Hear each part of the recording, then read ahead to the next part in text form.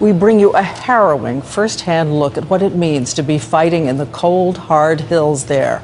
100,000 U.S. combat troops are waging this war, and in the past months, the U.S. has pushed back the Taliban. But now it's spring, and that means the enemy is regrouping in the mountains. And our Mike Boettcher was the only journalist with the 101st Airborne. They called themselves the No Slack Battalion.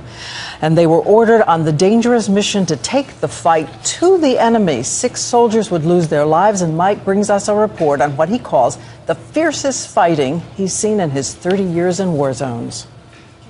On a freezing Afghan mountaintop, with Pakistan close enough to touch, the men of the 101st Airborne, known as No Slack Battalion, most in their 20s, some with only two weeks left on a year long deployment, began their descent into hell. The Taliban were waiting in their safe haven, a narrow mountain valley, Barawala Kalay. No foreign troops had ever dared come here, and once the furious attack began, we knew why. The Taliban were determined to convince the Americans to never come back. The enemy situation right now is they're shooting from a bunch of different places. No Slack didn't budge as fire came in from above. Up where that smoke was right there! From below. Not just a few shots, but a barrage of bullets. Right, get over here! They gave back as good as they got, killing more than 100 of their enemy but ammo was running low. Gotta leave me with two. Take two. And a tense voice on a field radio announced the cost of coming here. I have three counts, Steve. I'll give you more information as I get it. Roger. Get some fire on this hill. Oh. Fire rained down from all directions for five relentless hours.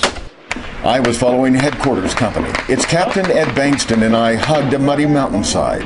Third platoon, a short distance to our right, and first platoon to our left, all had wounded and dead. Go ahead, 1-6 Romeo. Flying straight into enemy fire, Air Force parajumpers, known for their daring, attempted the first rescue. Their pilot was shot, and their helicopter turned back. I took an additional catch team.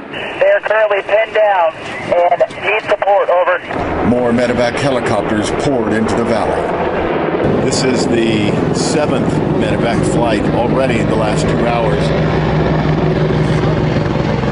It's hard to get an exact number. We've been pinned down here. When the clouds lifted, helicopters and bombers descended.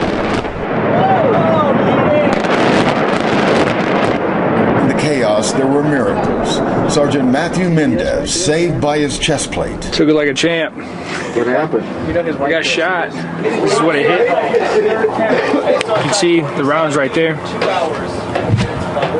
Got shrapnel in the ass. My tank bottle stopped it. the one that was under yesterday.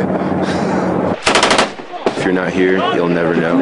If you don't have this experience firsthand, you can't really uh, begin to explain to a person.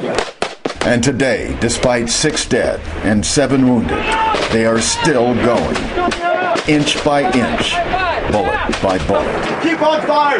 Mike Boettcher, ABC News, Barawala Kalay, Afghanistan.